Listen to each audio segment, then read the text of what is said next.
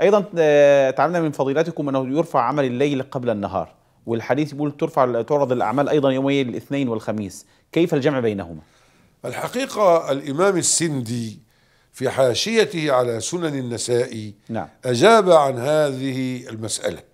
فقال رحمه الله إن عمل الليل يرفع إلى الله قبل النهار وعمل النهار يرفع الله قبل الليل. هذا حديث في الصحيح. نعم. وعمل دي عمل كل يوم. أما عمل الأسبوع الجمعة يرفع إلى الله يومي الاثنين والخميس. والخميس ده عند أبي داود. نعم. و... وعمل السنة ككل يرفع إلى الله في شهر شعبان. فبهذا الأحاديث تأتلف ولا تختلف. وتتفق ولا تفترق. نعم. يعني الإمام السندي رحمة الله عليه قال في حاشيته على سنن النسائي آه، في حديث الثابت في الصحيح واللي عند أبي داود ها واللي عند سنن النسائي قال أن عمل كل يوم يرفع إلى الله تعالى وعمل الأسبوع يرفع إلى الله في يومي الاثنين والخميس وعمل السنة ككل يرفع إلى الله في شهر شعبان. قال وبهذا الأحاديث تتفق ولا تفترق وتأتلف ولا تختلف. نعم. والله أعلم. جزاكم الله خيرا. أيضا تعرف عند كثير من الناس الاحتفال بالنصف من شعبان هذا جائز أم لا؟ والله هذا ليس بجائز. لماذا ليس بجائز؟ إحنا ربنا عز وجل قال لقد كان لكم في رسول الله إيه؟ أسوة حسنة. أسوة حسنة. وربنا جل وعلا قال وما آتاكم الرسول إيه؟ فخذوه. فخذوه. وما نهاكم عنه إيه؟ فانتهوا. فانتهوا. طيب سيدنا النبي صلى الله عليه وسلم. لم يثبت عنه أنه احتفل بليلة النصف من شعبان. هذا رقم واحد. رقم اثنين طب أبو بكر وعمر وعثمان علي رضوان الله تعالى عليهم الخلفاء الراشدين احتفلوا لا. طب سيدنا النبي عليه الصلاة والسلام قال في مراوي الترمذي وأبو داود من حديث العرباد بن ساريه رضي الله عنه عليكم بسنتي. وسنة مين؟ الخلفاء الراشدين المهديين. الخلفاء الراشدين المهديين من بعد كما تفضلت. نعم. عضوا عليها بالنواجذ وإياكم ومحدثات الأمور. أيوه. فهم لم يحتفلوا. طب هم أعلم منا بالشرع ولا إحنا أعلم؟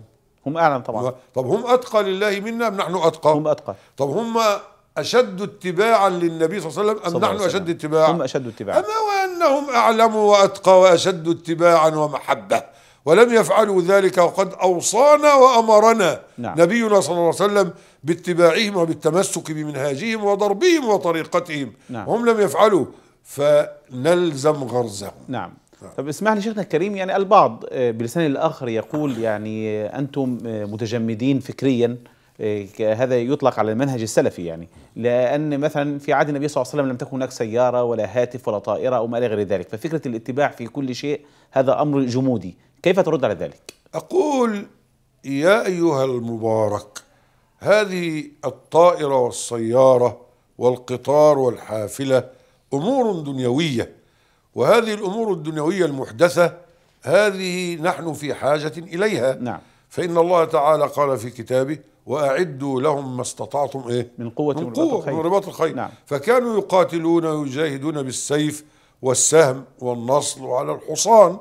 أما الوقت الطائرة والصاروخ والمدفع والدبابة والرادار والآلي. نعم. فهذا من باب قولي. وأعدوا لهم ما استطعتم من قوة. هذا موضوع المحمول موضوع الفاكس التليكس. آه، كل هذا إعداد خد- وكذلك السيارة لكن المقصود بالبدعة أي ما هو في الدين. نعم. ما هو إيه؟ في الدين. في الدين. وربنا قال سنريهم آياتنا؟ ها؟ نعم. أيوه. فهذا من الآيات. وبعدين بارك الله فيك. ربنا قال في القرآن الكريم اليوم أكملت لكم إيه؟ دينكم. دينكم. يبقى الأمر في الدين مش في نعم. الأمور الدنيوية. نعم. وأتممت عليكم إيه؟ نعمتي. نعمتي. ورضيت لكم إيه؟ الإسلام دينا. الإسلام دين فلا زيادة ولا نقصان في أمور الدين. نعم. خد أما أنت تصنع رادار بارك الله فيك. خد مش تستورد لي الأستك بتاع الفلوس نعم. خد أو, أو الإبرة. نحن نريد أن يكون عندنا مبدعين. نعم. مبدعين ليس آه، في أمر الجهاد في سبيل الله من طائرة ومدفعيه وصاروخ دبابة فقط لا في أمر الطب. خدت لك انت إزاي؟ في أمر الصيدلة في أمر الهندسة نعم. في أمر في جميع المجالات وفي شتى الخنادق. نعم. بهذا أمرنا خدمة لديننا ولمجتمعاتنا. نعم. والله أعلم. أحسن الله إليكم. أيضا نختم بهذا السؤال إحنا يعني داهمنا الوقت سريعا لكن بهذا السؤال نختم. يعني كثير من الأفاضل من الخطباء والدعاة يقولون أحاديث تتعلق بشهر شعبان لم تثبت. فلو تسلط الضوء على مثل والله من الأحاديث نعم. قالوا روى الإمام الترمذي أن النبي صلى الله عليه وسلم قال إن الله ينزل ليلة النصف من شعبان. فيغفر لأكثر من عدد شعر غنم كلب كلب دي قبيلة نعم. من القبائل آه، ولعلك تذكر يوم أن كنا في الإمارات في مدينة اسمها كلباء صحيح؟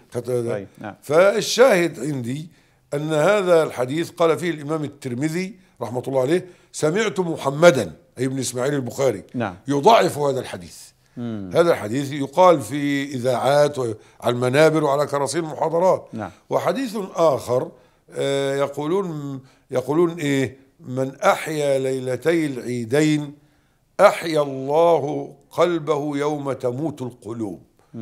من أحيا ليلتي العيدين وليلة النصف من شعبان. من أحيا ليلتي العيدين وليلة النصف من من شعبان. شعبان, أحيا الله قلبه يوم تموت القلوب. الإمام ابن الجوزي قال أنه موضوع وحديث آه، آخر يقولون إذا كانت ليلة النصف من شعبان فقوموا ليلها وصوموا نهارها. الأستاذ محمد فؤاد عبد الباقي قال في الزوائد أن الحديث فيه ابن أبي بصرة والإمامان أحمد بن حنبل ويحيى بن معين يقولان أن ابن أبا بصرة آه، يضع الحديث. وحديث آه، إن الله تعالى يطلع ليلة النصف من شعبان فيغفر للمؤمنين ويملي للكافرين ويدع أهل الحقد لحقدهم. نعم. هذا أيضا قال عنه الإمام ابن الجوزي أنه موضوع. وأما هناك حديث رواه ابن أبي عاصم في كتاب السنة وصححه شيخنا الألباني في السلسلة الصحيحة وغيرها قال عليه الصلاة والسلام إن الله يطلع ليلة النصف من شعبان. فيغفر لجميع خلقه فيغفر لمين؟ لجميع خلقه إلا أداة إيه؟ استثناء نعم. إلا لمشرك أو مشاح أو مشاح نعم إيه اللي بيحلف غير الله أشرك ولا لا؟ نعم. وإن كان أصغر اللي بيعمل عمل يقصد به أن يثني الآخرون عليه. دي رياء والرياء رياء. من الشرك. نعم. اللي بيطوف حول الأضرحة تقربا لصاحب الضريع شرك أكبر. نعم. اللي يذبح لغير الله ينذر لغير الله يستغيث بغير الله يوالي غير الله ورسوله والمؤمنين يبرأ من أهل الإيمان والتوحيد والسنة والإخلاص.